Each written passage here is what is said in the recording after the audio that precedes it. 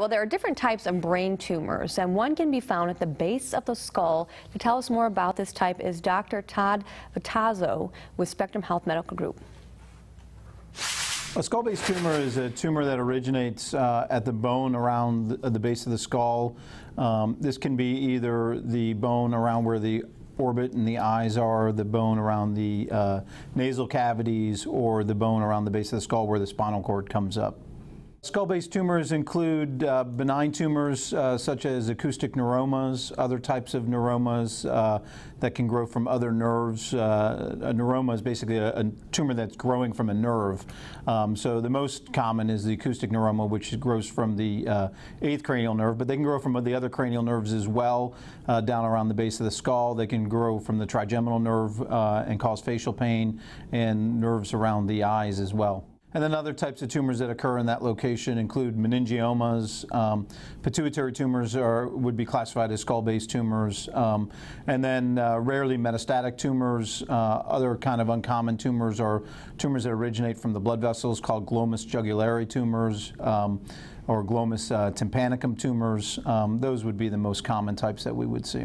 These tumors are uh, surgically, they're hard to access um, because uh, not only is there a lot of brain tissue, but there's a lot of cranial nerves. The cranial nerves are the nerves that come out from the brain tissue and innervate the um, muscles of the face. Um, so hearing, sensory organs, uh, hearing, um, vision, um, facial sensation, facial pain, um, and then you're breathing, you're coughing, gagging, and things like that. So swallowing. So they have a lot of really critical uh, functions, and in many instances, these uh, uh, nerve fibers, which are very small, can be draped over the tumors and limit access to them from conventional surgical approaches. Our, our typical approach is um, a minimally invasive, maximally effective treatment. So uh, in many instances that may mean complete tumor resection, but in some instances that may mean a subtotal tumor resection followed by uh, another procedure called stereotactic radiosurgery where we'll come back and give a very high dose of radiation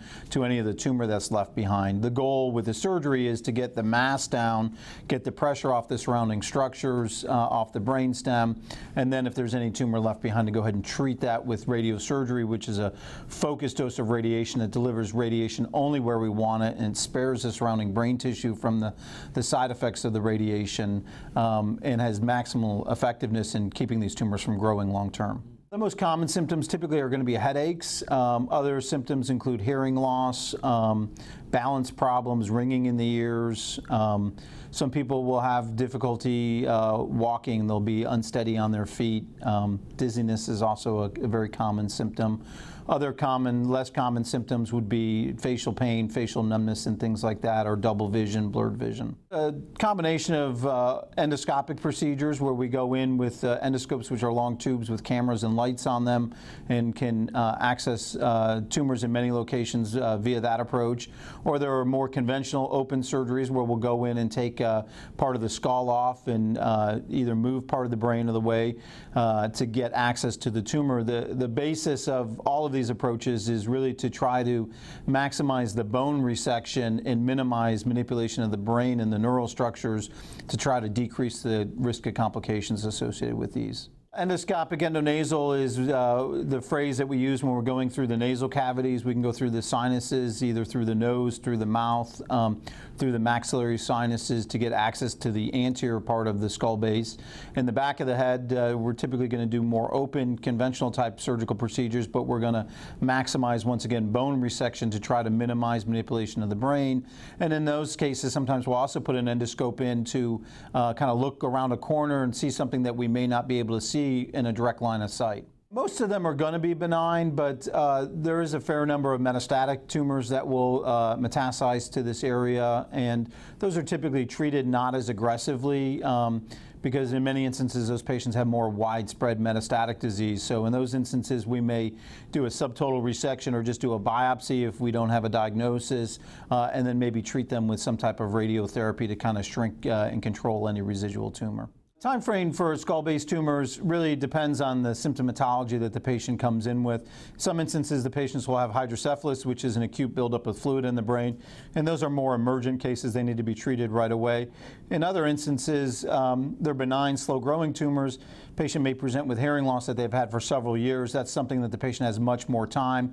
We typically recommend that those patients come in, see us, get a good evaluation.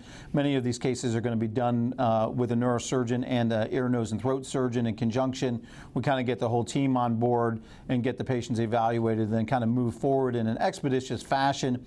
A lot of these patients, once they find out they have a brain tumor, they have a lot of anxiety, so they don't want to wait months. So we do try to get them through the system and uh, get them expedited in terms of getting them treated kind of along their own schedule. Some patients will have things coming up that they want to put surgery off for, and in most instances, that's appropriate to wait. All right. Well, his office is located at 25 Michigan Street Northeast. You can also touch base by giving them a call at 616-267-7900. Also find them online at shmg.org slash brain-spine-tumor-center.